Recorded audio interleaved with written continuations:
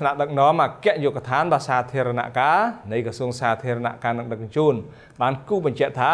កម្ពុជាក្រងនឹងចុះហត្ថលេខាទទួលកម្ចីហិរញ្ញប្បទានពីសាធារណរដ្ឋបាទគេថាកូរ៉េខាងត្បូងដើម្បីសាងសង់ស្ពានឆ្លងទន្លេមេគង្គបាទក្រមិត្តភាពកម្ពុជាកូរ៉េនៅក្នុងអំឡុងខែវិច្ឆិកាខាងមុខនេះហើយ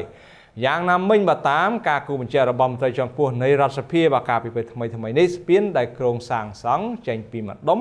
ផ្សាររាត្រីបើឈ្មោះទៅកាន់ត្រើយសខាហើយបន្តទៅបើស្វាយជ្រុំ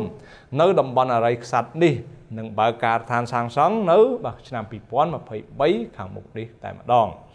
ជុំវិញដំណឹងនៃគម្រោងបាទសាងសង់ស្ពានឆ្លងទន្លេមេគង្គនេះដែរបាទអ្នកជំនាញនៅក្នុងវិស័យអចលនទ្រព្យ បានបង្ហាញក្តីរំពឹងខ្ពស់ថាវានឹងជួយបើថាជំរុញ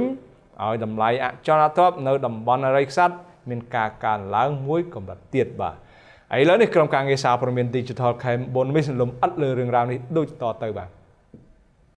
អាដាមហេរ៉ាពិសិដ្ឋអគ្គនាយកនៃអគ្គនាយកដ្ឋានសាធារណការនៃក្រសួងសាធារណការនិងដឹកជញ្ជូនបានគូបញ្ជាក់ថាមកទល់ពេលនេះកម្ពុជាមិនទាន់ទទួលបានកម្ចីពីភាគីកូរ៉េនៅឡើយទេតែតាមគម្រោងកម្ពុជានិងភាគីកូរ៉េក្រុងនឹងចុះហត្ថលេខាប្រគល់នឹងទទួលហិរញ្ញប្បទានសម្រាប់ការសាងសង់ស្ពានឆ្លងទន្លេមិត្តភាពកម្ពុជាកូរ៉េនៅអំឡុងខែវិច្ឆិកាខាងមុខនេះ ទោះយ៉ាងណាអាដាមមិនបានបញ្ជាក់លម្អិតពីទំហំហិរញ្ញប្បទានដែលកម្ពុជានិងកូរ៉េក្រុងចុះហត្ថលេខានេះមានទំហំប៉ុន្មាននោះទេបើតាមការគូបញ្ជាក់របស់មន្ត្រីជាន់ខ្ពស់រូបនេះក្រោយចុះហត្ថលេខារួចកម្ពុជានឹងជ្រើសរើសក្រុមហ៊ុនទីប្រឹក្សាបច្ចេកទេសឲ្យចុះសិក្សាលម្អិតលើគម្រោងមួយនេះ។ ជំវិញការអភិវឌ្ឍគម្រោងស្ពានឆ្លងទន្លេនេះដែរលោកជំទាវកតេសង្កហបណ្ឌិតខួនសូដារីអនុប្រធានទី2នៃរដ្ឋសភាបានបញ្ជាក់ក្នុងជំនួបជាមួយអេដាមជូណាយ៉ាងអភិបាលក្រុងខ្ជុងយូនៃសាធារណរដ្ឋកូរ៉េកាលពីពេលថ្មីថ្មីនេះថាគម្រោងស្ពានឆ្លងទន្លេមេគង្គនិងទន្លេសាបមិត្តភាពកម្ពុជាកូរ៉េដែលជាជំនួយឥតសំណងនិងហេរ៉ាញ់ទានរបស់កូរ៉េខាងត្បូង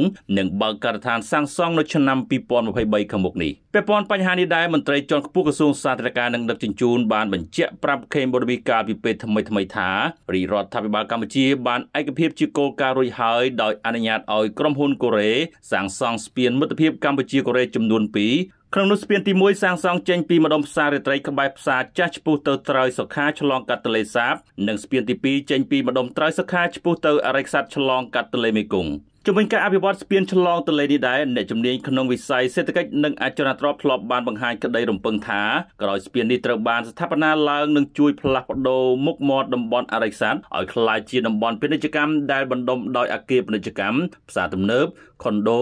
និងអគារលំនៅឋានប្រណិតប្រណិតជាដើមជាពិសេសវានឹងជួយជំរុញឲ្យតម្លៃអចលនទ្រព្យនៅតំបន់នោះកាន់តែមានតម្លៃកើនឡើងមួយកម្រិតទៀត